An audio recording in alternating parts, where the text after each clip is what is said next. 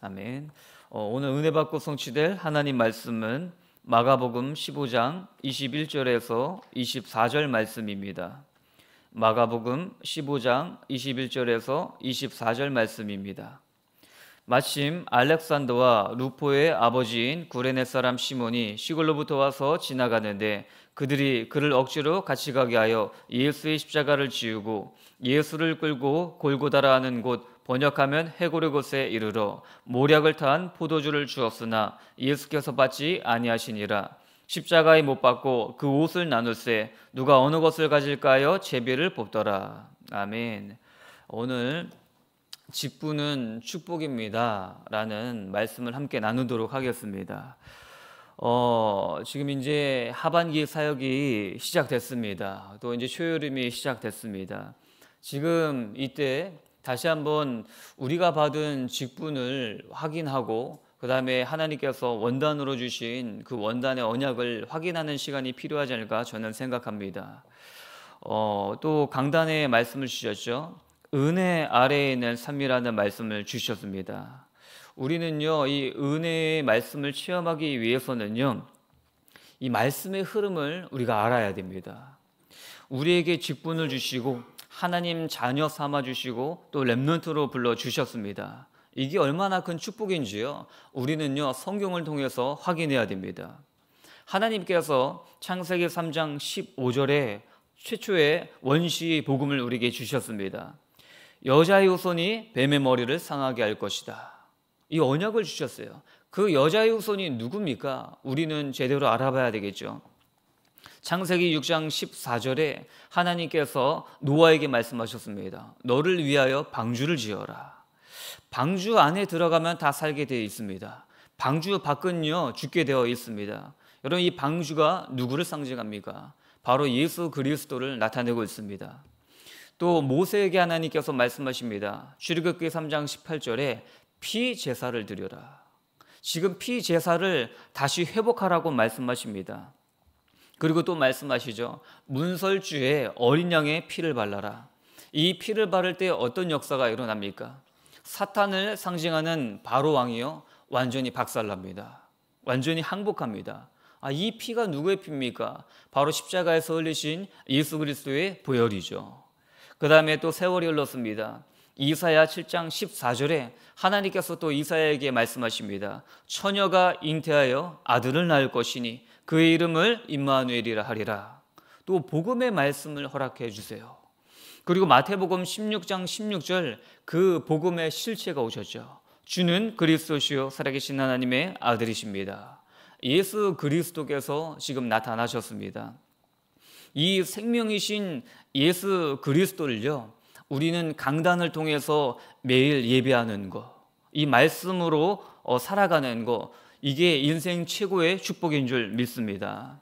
그리고 오늘 첫 번째 말씀드리게 강단에서 말씀드렸는데요. 첫 번째로 강단에서 의의 무기로서의 삶이라는 말씀을 주셨습니다. 간단하게 생각하면요. 우리 지체는 무기입니다. 우리의 몸은 무기입니다. 교회를 파괴하는 것은요, 외부 세력이 교회를 파괴하는 게 아니에요. 교회 내부에 마귀의 무기로 쓰이는 잘못된 교인들에 의해서 이 교회가 분열됩니다. 그래서 사탄이 우리를 무기로 사용하지 못하도록 의의 무기로 하나님께 우리 몸을 드려라. 이렇게 우리가 붙잡을 수 있습니다. 그러면서 daily baptism, baptism은 세례죠. 매일 세례를 받아야 한다. 이 세례가 무엇이죠? 물 속에 잠길 때 나의 옛 체질, 옛틀, 옛사람은 죽었습니다. 그리고 다시 물 속에 올라올 때 부활하신 예수, 예수 그리스도와 함께 저는 새 틀이 되었습니다. 새 사람이 되었습니다. 그래서 오직과 집중으로 영적인 싸움을 싸우라. 우리에게 언약의 말씀 주셨습니다. 두 번째 의의 종으로서의 삶이라는 말씀을 주셨는데요. 종은요 섬기는 대상이 있습니다. 많은 무신론자들이 저는 종교가 없습니다. 저는 예배하지 않습니다. 이야기하면서요, 실로는 예배하고 있습니다. 마귀의 종이 되고 있습니다. 그 대표적인 게 무엇입니까? 차를 사면요, 고사 지내요. 근데 우리만 안 지내지 100이면 100 불신자들은 불안해서 고사 지냅니다. 영화를 찍거나 드라마를 찍거나 대박 나게 해주세요. 안 믿는다고 하면서 고사 지내고 있습니다. 인간은요, 모든 걸 누구나 예배합니다. 근데 하나님을 예배하냐, 우상 숭배하냐, 그거에 따라서 우리의 신분과 운명과 인생이 바뀌게 되어 있습니다. 그래서 말씀하셨습니다. 내 기준이 아니라 내 감정, 내 경험, 내 지식이 아니라 강단 말씀만 따라가는 의의 종이 되어라. 우리에게 확실한 말씀을 주셨고요. 그리고 결론적으로 마틴 루터를 말씀하셨죠. 성경을 번역하는데 마귀가 얼마나 방해합니까? 이 성경이 많은 백성들에게 읽혀지면 얼마나 큰 역사가 일어나는지 마귀도 알고 있어요. 그래서 계속 루터에게 정죄 의식을 심어주죠. 네가 그래도 하나님 자녀다. 네가 지은 죄가 얼마나 많은데 이거 성경 번역한다고 해서 네가 어떻게 될 줄 아냐? 그리고서 임급병을 던졌다, 던졌다고 하지 않습니까? 근데 우리가 우리에게 주신 메시지가 있습니다. 그럼에도 불구하고입니다. 그럼에도 불구하고 하나님은요 우리를 사랑하십니다. 그럼에도 불구하고 하나님은 우리를 하나님 자녀로 삼아 주셨습니다. 여러분 이게 그냥 우리가 그럼에도 불구하고 나를 사랑하시겠지 막연한 게 아닙니다. 그 출처가 어디에 있습니까? 우리가 우리의 능력으로 구원받았습니까? 우리의 노력으로 구원받았습니까? 아니면 예수의 보혈의 능력으로 구원받았습니까? 예수의 보혈로 구원받았기 때문에요. 우리는 실패하고 무너지고 자빠질 수 있습니다. 그러나 우리는 정주의식에 눌릴 필요가 없어요. 왜? 예수님 보혈로 우리를 구원하셨기 때문입니다. 그래서 오늘 오직 강단의 말씀만 따라가는 우리 예언의 성도님들 되시길 바라겠습니다. 우리 첫 번째 갈보리 언약 체험입니다. 오늘 본문의 21절 읽겠습니다. 마침 알렉산더와 루포의 아버지인 구레네 사람 시몬이 시골로부터 와서 지나가는데 그들이 그를 억지로 같이 가게 하여 예수의 십자가를 지우고 지금 오늘 말씀에 등장하는 주인공은요 구레네 시몬이라는 사람입니다. 여기 잘 알려지진 않았는데 예수님이 십자가 골고다 언덕을 올라가실 때 십자가를 대신 지었다고 성경은 밝히고 있습니다. 지금 예수님께서는요, 인류의 죄의 문제를 해결하시기 위해서 십자가 지시고 계십니다. 예수님의 상태가 어떠냐? 전날 밤 밤새도록 겟세마니 동산에서 기도하셨죠. 그리고 기도하시다가 체포되셨습니다.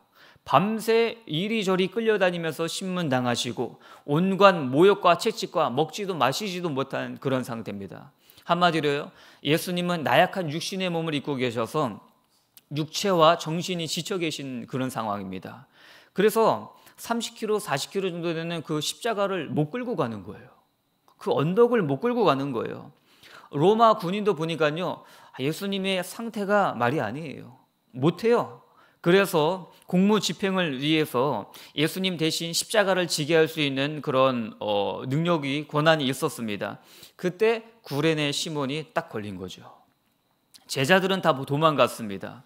근데 예수님의 십자가를요 가장 가까이에서 체험한 사람이 누굽니까? 구레네 시몬입니다. 그래서 여기에서 우리가 붙잡아야 할 중요한 포인트가 있습니다. 지식에서 체험으로 넘어가야 됩니다. 다른 말로 하면 지식에서 말씀이 나에게 성취되는 확인으로 넘어가셔야 됩니다. 그냥 알고 끝나면요, 말씀의 능력이 있는지 없는지 애매하게 되죠. 그럼 구레네 시몬이 어떤 사람입니까? 가족들을 다 이끌고 구레네는요 북부 아프리카 지역을 이야기합니다.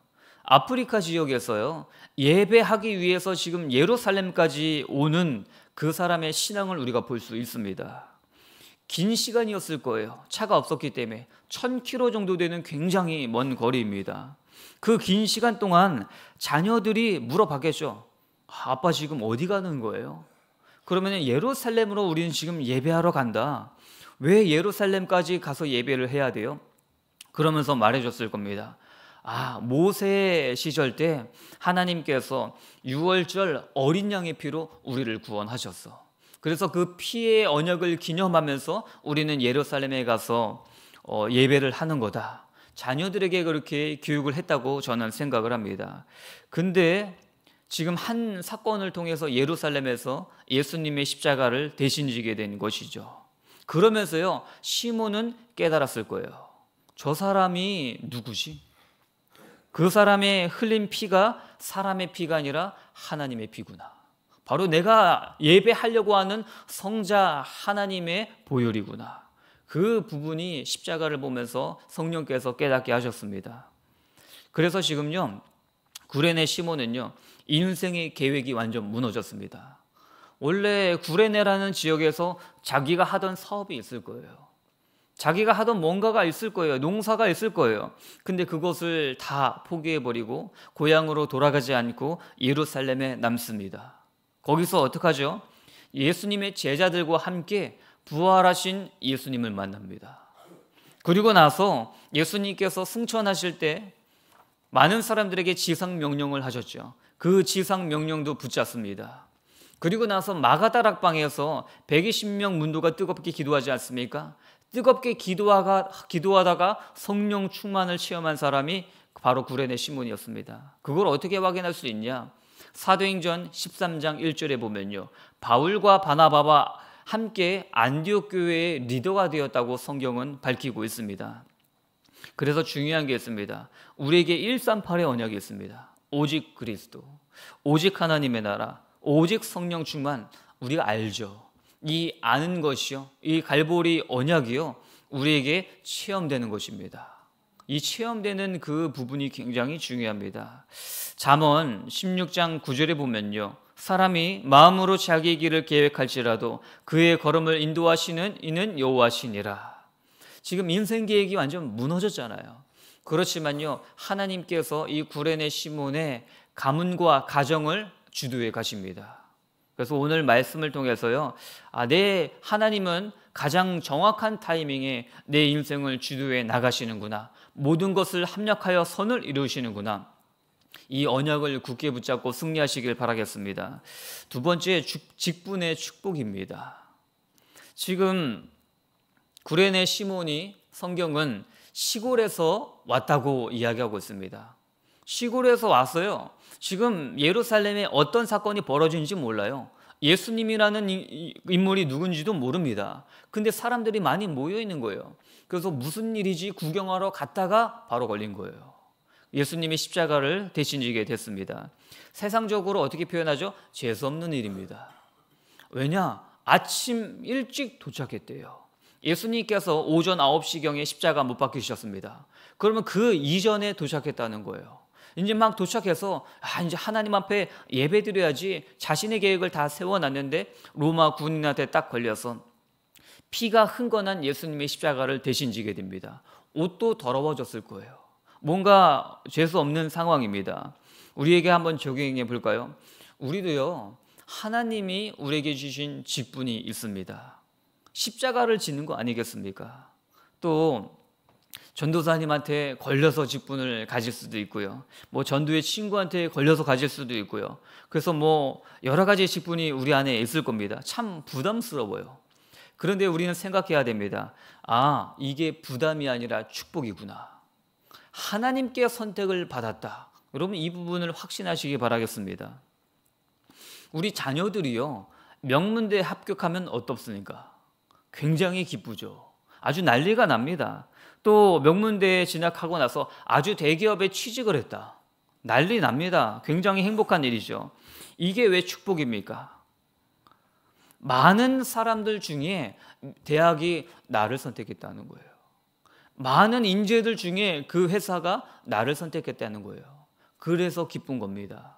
하나님께서 많은 사람들 중에 나를 이런 직분자로 선택하셨습니다. 그래서 우리 이 직분이 최고의 축복이구나. 이 부분을 확신하시길 바라겠습니다. 근데요, 아, 이 직분이 축복이라는 것을 해석하는 눈이 필요해요. 그게 없으면요, 굉장히 힘듭니다. 부담됩니다. 마음에 쌓입니다. 이 직분이 나에게 축복이라는 것을 해석하는 눈이 어디서 길러집니까? 강단 말씀 묵상입니다. 하나님의 말씀을 묵상하는 겁니다. 그럼 우리는 이런 핑계를 대요. 아, 저는요, 아직 합숙도 못 갔고요. 훈련을 못 받았어요. 이 직분은 아직 제가 준비가 안 됐습니다. 아, 저는요, 훈련 좀 받았는데요. 요즘에 사업이 바빠서, 스케줄이 많아서, 아, 저는 좀 힘듭니다. 여러분, 하나님이 우리 인생에 들어오실 때요. 우리는요, 그냥 끌려가면 됩니다. 강단 말씀에 그냥 순종하면서 끌려가면 됩니다. 왜냐면요, 우리 입장에서 내가 준비되어야 된다고 생각하죠. 하나님 입장에서도 생각해 보셔야죠. 하나님 입장에서는요, 이미 만세 전에 우리를 준비하셨습니다. 창세 전에 준비하셨습니다. 그래서요, 이 하나님의 일은요, 내가 준비돼서 하는 게 아니라 하나님의 말씀에 순종하면서 하나하나 인도받는 것입니다. 또 말씀드리겠습니다. 직분을 통해서요, 복음이 전파되는 일에 헌신하시기 바랍니다. 여러분, 누가 타락합니까? 누가 실족합니까? 시간이 많은 사람이 타락해요. 시간 많고 건강하고 경제 많다. 그 사람은요, 타락할 확률이 굉장히 많습니다. 하나님을 믿는다고 해도. 왠지 아세요? 마귀가 건드립니다. 우리의 몸을 의의 종으로 드려야 되는데 다른 생각하게 만든다니까요. 그래서 우리의 시간을 하나님께 헌신하시기 바랍니다. 우리의 인력을, 우리의 경제를 하나님께 헌신하시기 바랍니다. 여러분, 성경에서 다니엘은요, 어린 나이에 뜻을 정했습니다. 이게 무슨 말이냐? 어린 나이에 10대 때부터 하나님 앞에 내 인생 드리겠습니다. 헌신하기로 작정한 사람입니다. 하나님이 그 인생을 어떻게 하십니까? 그 엘리트들, 바벨론 엘리트들보다 10배 이상 지혜롭게 하시지 않습니까? 그 하나님이 지금 우리의 하나님이십니다. 결론적으로 말씀드립니다. 가장이 바뀌면요. 가정의 운명이 바뀝니다. 반대로 다르게 얘기해서 한 개인이 바뀌면요. 그 가정의 운명 바뀝니다. 지금 본문은요. 굳이 알렉산더와 루포의 아버지 구레네 시몬이라고 시몬을 소개합니다. 아들들은 이렇게 소개하는 표현이 흔하지 않아요. 보통 아미떼의 아들 요나에게 하나님의 말씀이 이르시되 아버지를 소개하고 그 아들을 소개하는데 지금 본문은요 반대로 소개하고 있어요. 왜 그럴까요? 그 아들들이 특별한 인물이라는 거예요. 그 부분이 로마서 16장 13절에 나옵니다. 주 안에서 택하심을 입은 루포와 그의 어머니에게 문안하라. 그의 어머니는 곧 내 어머니니라. 로마서 16장은요. 어, 지금 전도자의 식주인, 전도자의 보호자, 전도자와 함께 발걸음을 같이 했던 그 중직자들이 나와 있습니다. 그, 그 16장에 인물이, 이 사람들의 인물이 등장, 등장 합니다. 루포는요, 구레네 시몬의 아들이죠. 근데 바울이 인정한 지도자가 됐습니다. 그의 어머니는요, 바울이 영적으로 어머니로 존경할 정도로 훌륭한 여성 사역자가 되었습니다. 이게 어떻게 됐을까요? 가장이요, 갈보리 언약을 체험하니까요. 그 가문 전체가 바뀌는 거예요. 하나님께서 우리를 영적인 가장으로 세우셨습니다. 하나님이 주시는 축복은요, 반드시 개인으로 끝나지 않습니다.